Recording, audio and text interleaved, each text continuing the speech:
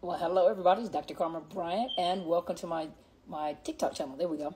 Um, this is Car Chronicles. Obviously, I'm not sitting in the car at this particular time. I am in the big old state of Texas, where they do everything big.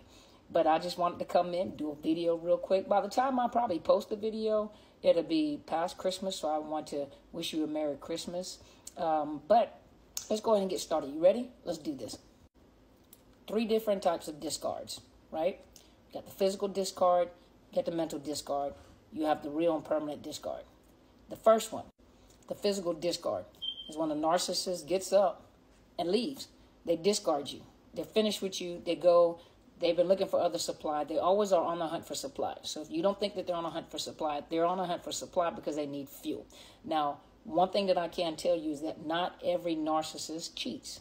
Not every narcissist cheats. It depends on what position or what role that they're playing or have taken upon themselves. Because you do have people that are in the religious sector, you know, pastors, you know, rabbis, whatever, that are actually narcissists.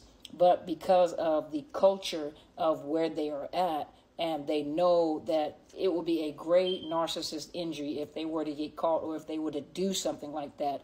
Um, they don't do it because it it's not in their heart or they can't do it. Maybe that's the right thing to say, but uh, not all narcissists cheat. They don't. And, and a lot of them are not interested in cheating, which are a lot of the cerebral narcissists.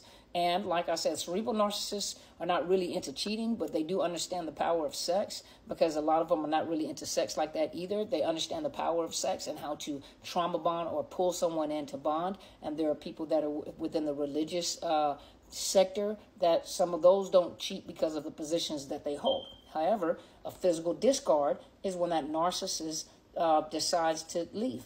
They may leave, you know, and discard you for a season. They may leave and discard you because they think they found a source of supply that's more vulnerable, that's more pliable, and they find out that they're not. So that's when they begin to hoover you back. So there's a physical discard. Some of them don't hoover you back because they found a source of supply that is uh, better than you. And when I say better than you, that doesn't make you less than a person. It doesn't mean that you're not a good person. Better than you means that they found a another source of supply that is uh, vulnerable, that is naive, that doesn't know, that are giving them copious amounts of fuel by worshiping the ground that they walk on. This is the best thing since sliced bread. I can't believe he or she would leave. Why would you leave? You know, how I can't believe this, you know. So they're getting that, they're getting that, but it's only temporary.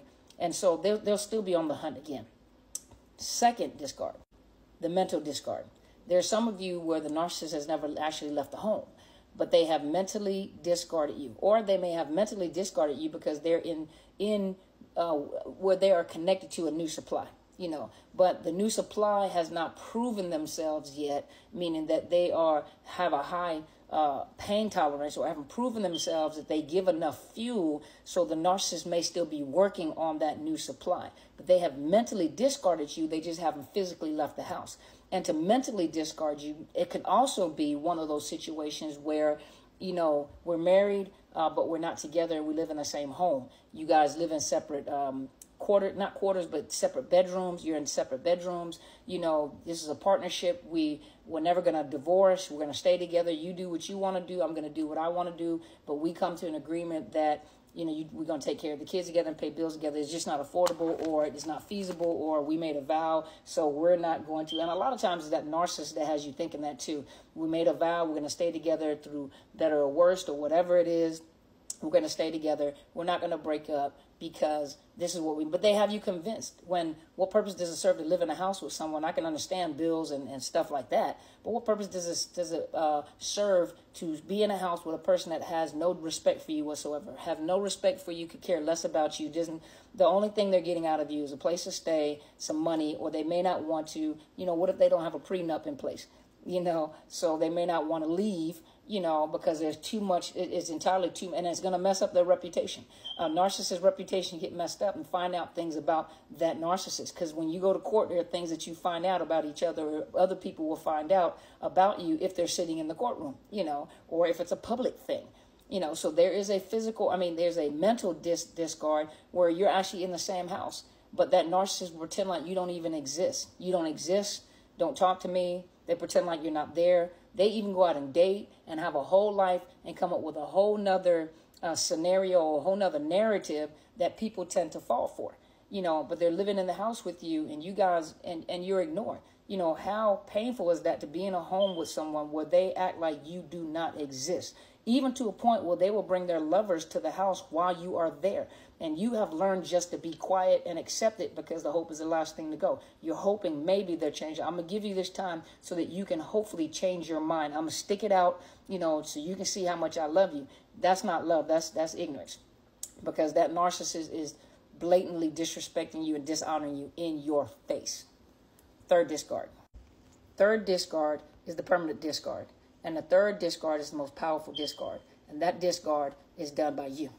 When you finally make up your mind that I refuse to live like this, when you finally make up your mind, you know, my hope is gone with this individual. It doesn't matter. I'm going to live my best life. I need to heal. I need to get out of this. I deserve better than that. When you put value on yourself, you know, that's when you finally make a discard. And including with that discard includes no contact, gray rocking. For those of you that have children, I don't care what these people are telling you.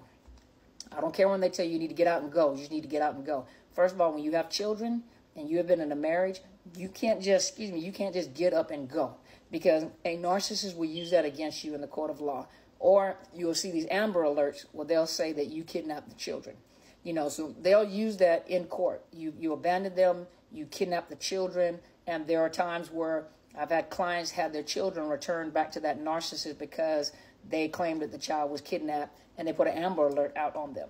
And so don't listen to these people when they're telling you you are investing, you have children, you're married. Don't just get up and go. What you have to do is you have to get in contact with a domestic violence advocate or domestic violence program and let them help you because they put it on papers and they understand the law. And so to get the law involved, to get paperwork involved to help you if you need to relocate, help you if you need to get into a shelter, help you if you need protection, put, put, protective orders in place where they can come and help represent you in a court of law. And normally when they represent, not represent you, the, the advocate doesn't represent you, but they come and support you in the court of law. And normally when the judge sees the advocates, because a lot of the advocates work around the same court, they see the same judges. So usually when that judge sees you know, the advocate sitting in there, you know, and they read the paperwork, they know that this is a person that may be seeking um, assistance or protection from that narcissist. So you, you, you, I just like to be private. I don't want everybody in my business. Well, then you stay right where you at, but don't you run out that house with those kids in your arms because they will use that against you in the court of law. And then the very thing that you were trying to do to protect your children to get away from the narcissist, the very thing it could backfire and that narcissist can get custody of your children because they can say that you kidnapped those kids. And then we're looking at the Amber Alert and it's your car that they're looking for you know, the names of the kids that they're looking for, and it could be you. So don't listen to these people that are telling you just get out and go.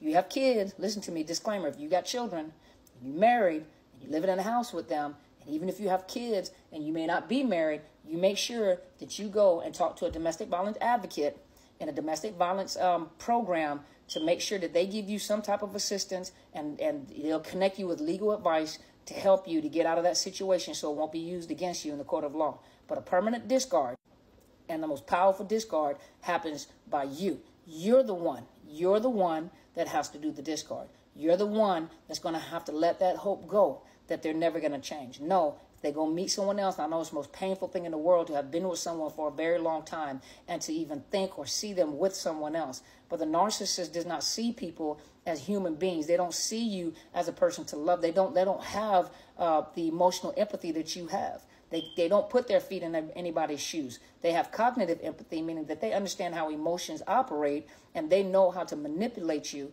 and they know how to manipulate people because they know if I push this button, this is going to happen. I can get a reaction from you at all times because they understand how that's, that's the cognitive uh, empathy. The emotional empathy means I can step in your shoes, in my mind, and in my heart, and I can imagine what it feels like to go through this or this right here, or I can imagine what you're going through. That's the emotional empathy. They, they lack that. They don't have the ability to connect to people, and they don't have the capacity to love the way that a average person, I'm not saying normal because none of us are really normal, but the average person loves. To love an animal, to love your children, to love family, to love your friends, and want to see them do well. They are all about themselves.